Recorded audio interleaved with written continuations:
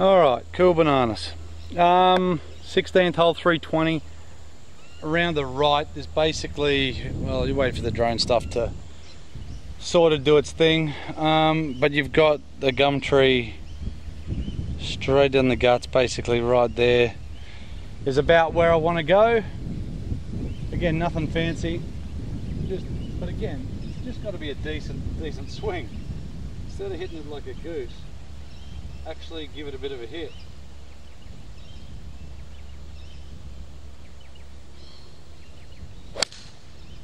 Eh, it's a bit toey, but it's fine. Yeah, it's not ideal.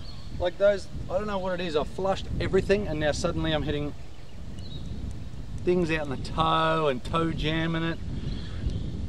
It feels all wrong right now, but that's golf. Cool, so yeah, no danger. There's actually probably even short of the water there. Right, what do we got here? Sorry. Um, iPad's on, good. So 80 meters, 100 meters, something like that. 98. 98. So yeah, it'll be just be that 54 degrees. It should be a good distance. I've hit that a few times today and it's been decent, so just got to hit a good one. Another goodie. A few spits of rain starting up.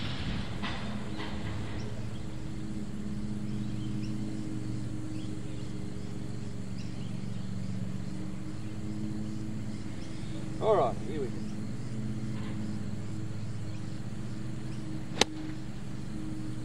Yeah, well, it's right at it. I don't know if it's going to get all the way back there. Well, it's fine, I think. It wasn't the best struck. Uh, it's saying 102 meters total distance.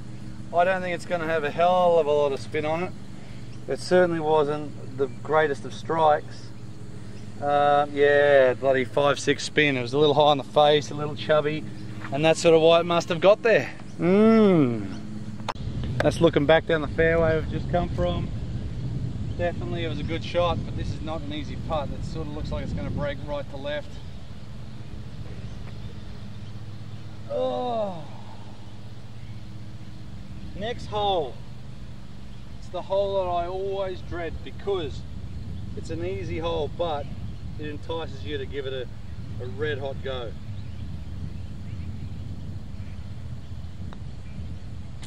Bloody lovely. It's um, it's cheap off the tee, just a little bit of a draw, and then get it down there. But then that doesn't equal you can go for the green in two. It's uh, yeah, you got to hit a good one. Anyway, nice birdie, good bounce back after that horrible previous hole. Okay, I think I say this every time I get to this hole. It's the greatest because it allows you to do some silly things. If you if you don't hit a good good one, you're in the creek or in the creek. So it's yeah. So we're basically looking at what have we got? 470 odd, uh, par five 470 odd, around to the left, around to the right. Um, I'm going to take it up over these trees here on the corner. So basically those trees sort of there, something along those lines. And let's hit it, just hit a good one. Just hit a good one.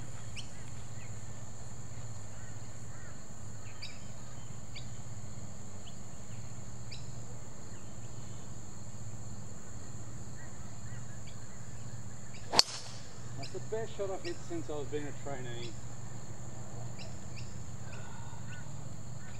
So that one there started, well, hopefully you can see where it started. Started left, it faded back a little bit. I reckon I'm gonna be blocked out by the trees. But that's um, that's the type of shot I was trying to hit. If it turned over to the left a little, as much as it moved to the right, it'd be perfect. But I reckon I'm gonna probably have to bump one down there short of the green, or even just sort of chip out sideways because, yeah, it's a bit funky. It's a bit funky down there. If you hit it to turn over a little bit, you can be sort of left roughed and everything like that. It's not a drama, but yeah, as it down the right, it's not ideal. Uh, but what it does is sort of gives me another shot that I could maybe bunt something in close, close to the green, if not on. Yeah, nearly as good as what I wanted. So this is what I mean, like there's mine there, I really don't have much. If I was to go further over to the left, it's a little better because I could potentially go over it. But right here, it's just sort of a bunt up to the corner and yeah, it's not, not the best, but again, it's okay. There's two things, like I said, I can't get over the trees this far out. I definitely can't hit it that far. But I'm just going to hit a bumpy little 9, turn it into a stinger 9-9. And uh, just sort of get one down there. It's not, again, it's not pretty, but that's, if I was to hit, like I said, over here, maybe a chance, but almost not really. So maybe the smart play is lay up back there, lay up down there, but then if your layup's crap, well then you're to be blocked out by these trees anyway. So it's where do you want to take that risk? Where do you want to take it? Right, 86, um, 86 meters, back into a bit of breeze. 54.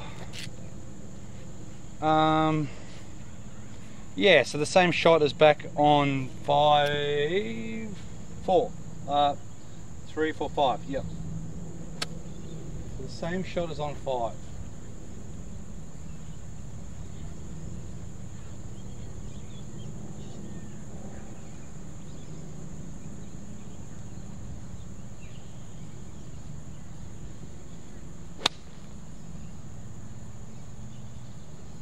landing. That's not bad. Again, the piss poor strike, I mean sorry, the strike was just a little bit chubby so there wouldn't have been a huge amount of spin saying that it stopped pretty quick. Again, relatively close.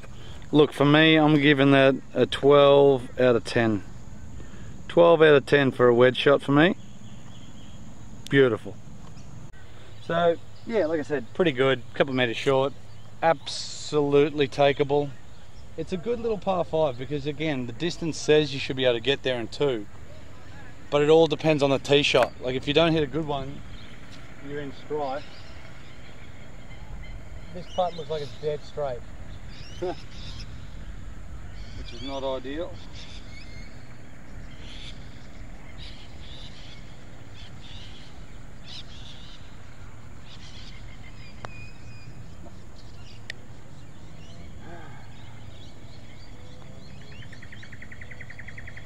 feel like I've hit it okay. There's like that, that patch around the back there that was just very average, but I feel like it's been pretty good for, for not really playing. Um, maybe it was getting tired, I don't know. But I got a wedge into the next, so we'll finish up. We've made it to 18. Rightio, 18th hole. I'm not sure, too sure the distance.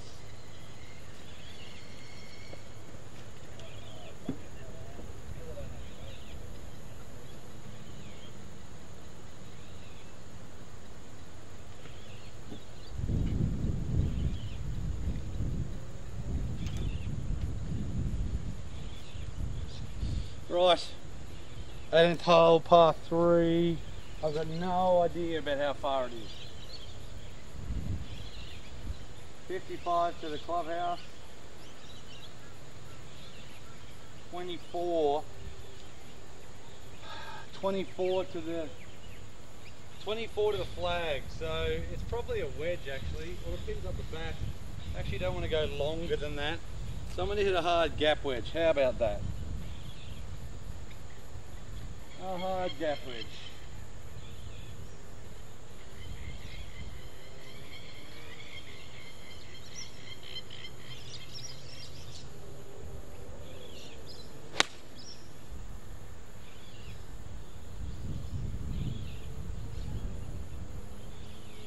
too far to the right, but I reckon the distance is okay if it's not in the bunker or something.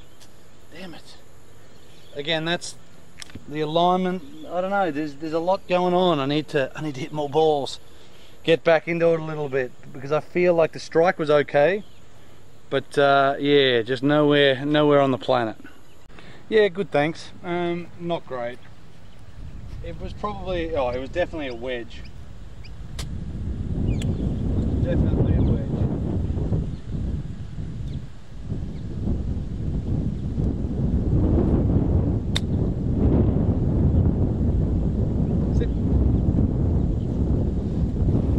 Definitely a little long. I'll just run you up here. Look, it's been good to be out at, at Caboolture. Um, it's been a while. That one came out a little bit stronger than I wanted it to, so it's about six foot, seven foot past. But it's been good. It's been good to get out, have a bit of a hit.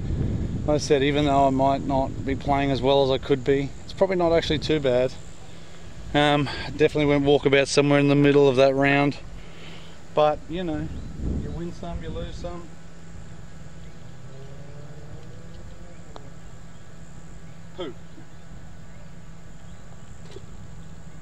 Right, easy bogey. I didn't know if I was going to hold that, but anyway, easy bogey. It's um, like I said, it's good to be sort of back having a bit of a hit. Uh, it's a pity um, we couldn't get the boys out, but we'll get them out another time. So hopefully this has worked okay. Hopefully it sounds good, but I'll know before you guys. I'll put it up, and um, yeah, we'll go from there. That was a terrible bogey. Just a bad club. See, I thought downwind, wedge, maybe a little long, but there's actually a little bit of room back there. So it would have been just a normal pitching wedge instead of a hard gap wedge. Get a Caboolture, guys. Look at that thing over there. Looks very, very good. Anyway, um, we'll see you next time, guys. And um, yeah, we're sort of back. Camera's ready. Lav mic's not. Like I said, solo vlogs not uh, the best so far, uh, but we'll make it work. Anyway, stay tuned. Cheers, guys. See you next time. Beautiful. And don't forget, smash that like button. Oh, you're That's what you say, don't you? Oh, that's what they say to say. Hey? I don't know. If you don't like it, don't like it. Hit, hit dislike. Who cares? Yep. I don't care. But anyhow, see you then. Beautiful. See it.